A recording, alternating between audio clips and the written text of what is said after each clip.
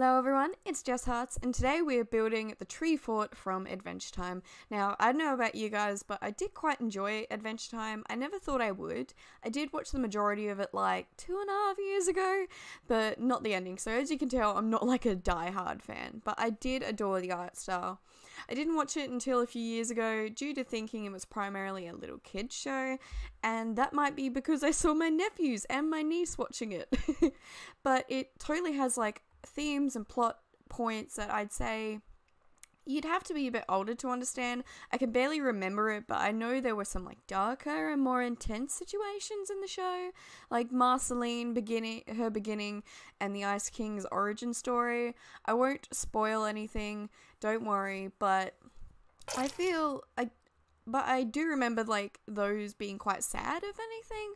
I feel like the show has a huge target audience, you know? It goes over a range of people, ages and stuff. Either that or I'm just a child at heart. Let me know if you watched Adventure Time and what you think of it or if you hated the show, which is fair enough. I won't lie, I couldn't just sit there and binge watch it. I think that's partly because of voice acting. A lot of the characters have higher pitches uh, voice wise. Well, I can remember Lumpy Space Princess, I think that's her name, had a deep voice and was actually voiced by the creator or one of the creators of the show. But yeah, let me know what you think of this build and the show. Also, if I've forgotten anything, let me know. I probably have. I used a couple reference photos and tried my hardest to keep it canon, but I obviously had to improvise with um, two of the rooms, the branch on the lower left and the one on the upper right. In the photos, I couldn't really find anything to put in there, but I'm happy with how I ended up putting them to use. But yeah, what's we doing now? We're just doing the oh yeah, this weird thing. I think it's like a thermos, thermos, a heater. I don't know what it is. I could be completely wrong. It looked kind of like a submarine. But yeah, I kind of tried to recreate it here. I think I did an okay job. Anyway, how's everyone going? I think I'm sick again. I felt like utter crap yesterday. I finished building this and I just went to go lay in bed. I felt so bad. I thought I then I thought up a creepy build, and as I've said before, I sketched my ideas down and I did the layout and everything. So of course I got a second wind at like eight o'clock. So I set up my laptop again, started building it, and something tells me it's going to be a two-parter. The creepy build that I'm working on it has like five floors and multiple buildings. So yeah, it, I'm I'm gonna make it a bit of a educational video as well. So that's a thing um yeah give me some speculation about what you guys think it might be and some more ideas about that kind of thing it's gonna be a lot it's not gonna be a residential kind of house uh residential kind of house it's not gonna be a residential lot I'm very excited to show you guys what it is. It will probably be coming out late next week after viewing your build creations for my build challenge. And if you haven't heard about that, go to the gallery. Um, gallery and search up hashtag Jess Harts Build Challenge and give it a whirl. The rules are you can add anything you want, yes, walls are allowed, but you cannot delete anything that is already there. Then upload your creation to the gallery again with hashtag Jess Harts Build Challenge in the description. Then I'll be touring the builds on the 27th. So next Monday, I believe, and then the video will be out either that night or the following, so Tuesday. Yeah, so yeah, get going, guys. I can't wait to see what you guys have made. I've seen a couple screenshots and oh my god, they look amazing. There's so many talented builders out there that deserve some love. So yeah, stay tuned for that video. Anyhow, back to this video. Uh, yeah, doing that weird, like, you can't get up here, by the way. It's uh, completely just um, aesthetic wise, that little boat area, and doing the main exterior of the tree, which was kind of difficult because obviously they're all different colors. Um, and it was even worse trying to get the screenshots because it was summer? Autumn, autumn, when I was trying to uh, get the screenshots. So all the trees were like dead and it looked terrible. And I know there is a mod to change the weather, but I am lazy, so I haven't uh, downloaded that yet. Oh well. I won't lie, I am kind of concerned the Sims will try and sit on those stumps though. I've used to made, make this build.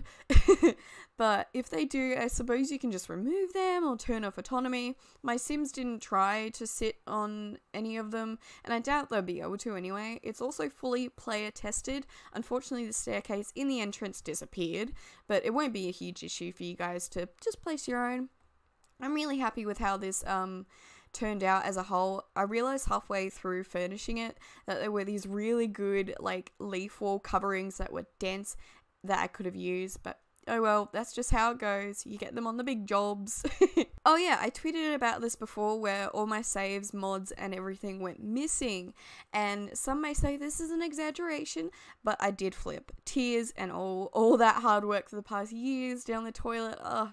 I had a heap of builds there that I hadn't finished yet, so yeah, pretty much I freaked out and a build I was currently making a video for had also disappeared. And I called up my boyfriend, I told him what was going on, and he helped me find them, thankfully. And yeah, I found them in a weird subfolder elsewhere, like Electronic Arts folder. The Electronic Arts folder, sorry, um, had just like picked itself up, waddled over somewhere else, and sat itself there, just being a giant poop. I put it back to where it was meant to be and deleted the weird subfolder it had moved to. Um, and this is a story to remind you guys to save right now. Whatever you're doing, go and save and back up your files. I now have a huge folder backup of everything on my external hard drive. So, yes, stay hydrated and save often, save backups.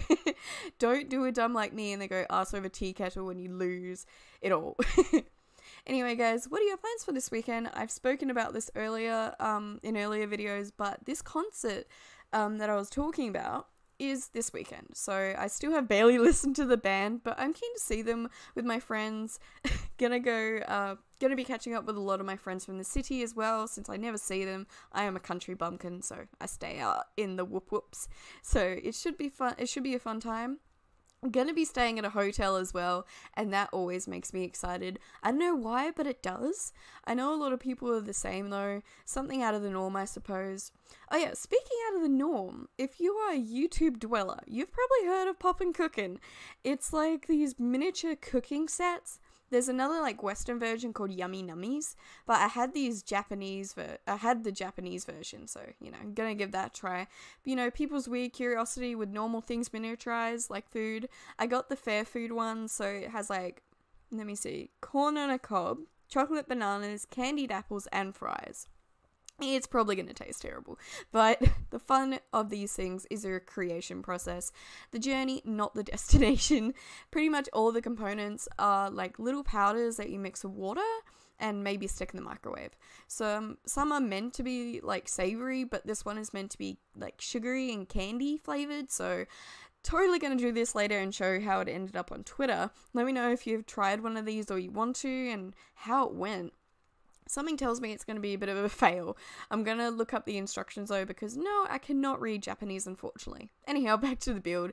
Um, mm, furnishing the main, yeah, the main area of the tree, I guess, like the the place that you walk into first. So the kitchen and a little bit of a seating area. I don't know if your Sims can sit there. I'm assuming they possibly could. But yeah, I really loved putting that lamp in the tires. I don't know why. I just thought it looked really cool. Anyway, also, sorry if this video is a tad fast in some spots. The video was super long and I had to edit out so many dumb parts where it took me over like 20 minutes to make the branches. I wish they were more seamless, but you gotta do what you gotta do. I also didn't make any of the characters. One, because I forgot, and two, because, you know, there's so many more great recreations of them on the gallery, plus there's CC. So I'll leave that to you guys if you wish to live in the tree fort as Finn and Jake. Um, yeah, and you can see here how cluttered I'm making this. I really loved it and making those like little um, faux like tree ladders up to the next floor. Obviously, they are not. Uh, you, you can't use them, but they look cool, I guess. also, um, something I really loved about Adventure Time was the silliness and wholesome nature of it.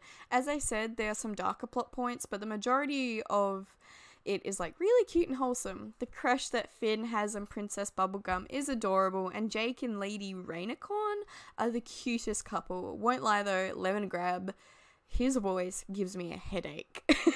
Something really cool about Adventure Time though, they play around like with different realms of existence or like the two dimension, uh, two dimension, like second dimension, third dimension, fourth dimension, that kind of thing. And uh, yeah, and time travel, yeah, they play around with that too. They get a little bit of ex- ex- existential, existential. Golly gosh, it's been a long morning at times, and it gets a little bit uh, morbid, but it really makes you think, and I really like that with a show. I like it when things make you think. Um, but that bloody stag creeps me out. It walks around on two legs, on its hind legs. No, I don't like it. Mm-mm, no. If you've heard of Wendigo or Skinwalkers, little tangent here. From my understanding, they take like the appearance of people or animals or other things, and they will obviously act strangely because you know that's not their actual body. They don't know how to act natural. Um, yeah, so I've heard stories of Wendigo, and pretty much whenever I think or see the stag walking around in its two legs, that's what it reminds me of. And now I'm just I'm just so bloody disturbed by that damn thing. Oh yeah, um, and its front hooves, they aren't actually hooves, they're hands. It's so creepy. Ugh there are actually some really hecked up creepy situations in Adventure Time. I won't lie, if I was a kid and watched these parts, I would have definitely had nightmares, especially what Lemongrab does to his clone. If you've watched the show, you know what I mean. It is so weird, I don't like it. These parts of Adventure Time actually creep me out way more than the horror movies I've recently watched with my boyfriend. Also, gonna be watching The Conjuring 2 tonight, so that should be fun. I'll let you guys know how that goes as well. Anyway, yeah, I didn't really know what to put in here, so I just put like a heap of bookshelves, a fireplace, and like a little chess uh, table there just for your Sims to actually have a purpose for going in this room. And I think this one is BMO's room. I am not sure. BMO's so cute though, isn't he? His storyline's actually pretty dark too. Oh man, I gotta watch it again actually. I think I need to recap on it. I really like um, cluttered builds like this one as well. I sometimes almost struggle when I have to do minimalistic builds because you have to be kind of particular and well thought out with what you place. So when it's all cluttered and kind of messy, it's fun because you can just go over the top. And this build is quite over the top. I really want to make maybe um Tarzan's treehouse too. That's like something I was thinking about whilst building this. That would be amazing. I was a huge Tarzan fan when I was a kid. I wanted to be Tarzan. I had the PC side scroller game when I was little, and uh, I believe that was like the first PC game I even played, or one of the first. And I still love it. I played it recently. I believe you can download it for free. My boyfriend and I also just watched the Tarzan movie, and it was super good. I was really surprised. Um, I wish there was more as well. Ooh, I should totally rebuild Shrek Swamp. I built a version a year or two ago, and I should totally try it again. I love doing these themes themed builds, it helps my buildings like feel fresh and fun, not just, you know, doing the same old, same old, if you get me. I love building a good old suburban home every now and again, but breaking up the monotony with a weird or themed build is always fun and a bit of a challenge. Especially if you aren't using any CC. For my new creepy build, it's gonna take a lot of creative thinking to furnish it, all without some creepy custom content. I think that makes it fun though. Just that little challenge. Man, I wish we could raise up carpets and stuff though. I had the idea to use the like petal carpet from City Living as like rose petals on top of a bed in like a honeymoon suite kind of thing but you can't raise them up above the bed and and that saddens me quite a lot i suppose you could think of something else but still i can understand why they're made that made the way they are they aren't meant to like or they're always meant to be underneath something. Oh well, I'll think of something. And yes, I even made Jake's little um cupboard drawer bed, which I think is super cute. Obviously, it cannot be used. Well, you could try, but I doubt it. And yeah, I just thought the aesthetic was super cute and I wanted to keep it canon. Oh, yeah, the tweet that Lindsay had about the numbers, well, she revealed what they are. Two was the number of presentations she's going to be giving at EA Play. 18 was the number of days till EA Play, which everyone guessed. And she, at the time that she posted the tweet, it was 18 days. And the most exciting part is the 350, and the 350 is th- uh, 350 new swatches all for base game, which is amazing. I am so flippin' excited. So clearly, it's it's going to be coming in like a new patch update, and man, I am so down for some new swatches. So many new options. Gotta hand it to Maxis. They listen, even if it takes a few years. I'm assuming we might be getting a few new objects as well, like a new type of door, or hopefully a new type of modern window, either that or some swatches for those modern doors that we already have in black and white, which is going to be great. I believe they are doing that. I think that the announcement at EA Play and these new swatches are a big reason to why The Sims 4 is free at the moment. Also, like I said last time, I can understand where people are upset, but you know, come on. It's a company, it's a business, they aren't just our pals, they gotta cater um, they can't cater to our every whim, and you know, they have to do a lot of different marketing techniques to broaden the gaming audience. Like, you know, think about it. They spend so much time trying to keep us happy, they deserve to promo their company and stuff. Let them have that at least. anyway, guys, I hope you've enjoyed this build and my little rant there.